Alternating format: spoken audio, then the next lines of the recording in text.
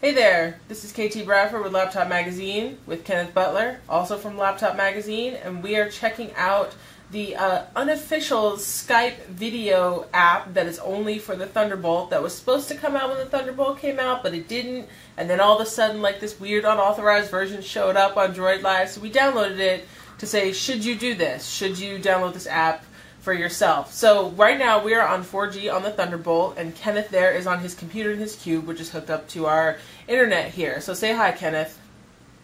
Hello, guys. So the the picture that we're seeing of Kenneth is actually pretty good. It's pretty crisp. Um, he has like a good HD camera from Logitech over there on his desk. But Ken says that the image that he is getting is not that great. Can you describe it a little bit, Kenneth?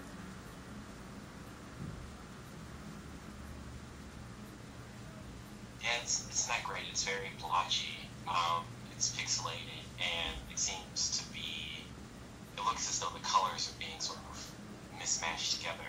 Okay. Parts of the video. It's not very good image. Okay. So um, we have we have noticed that sometimes there's a little bit of a lag between um, when you start talking and then when we actually hear it on the phone. Uh, and so and we noticed yesterday when we tried this out there wasn't as much of a lag. So it seems to depend upon naturally the network and how the network is doing at the time. So the next thing we're going to do is we're going to try to do a Thunderbolt to Thunderbolt call on Skype with video and see how that works out. All right, so now we are doing this call Thunderbolt to Thunderbolt.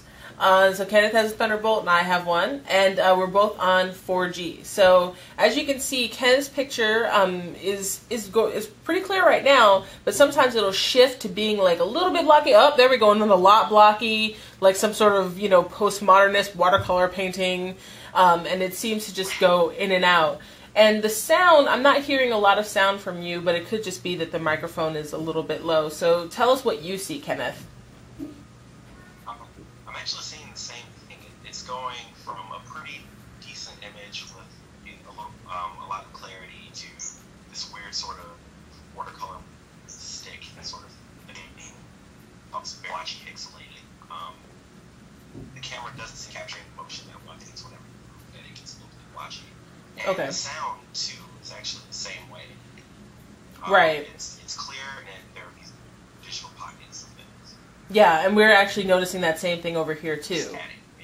Yeah, a little bit static, but it's actually um, much better than we've seen on some other apps going over, you know, 4G. But it's still not quite there, which might be why this app is not on the market yet. It may just not be quite ready.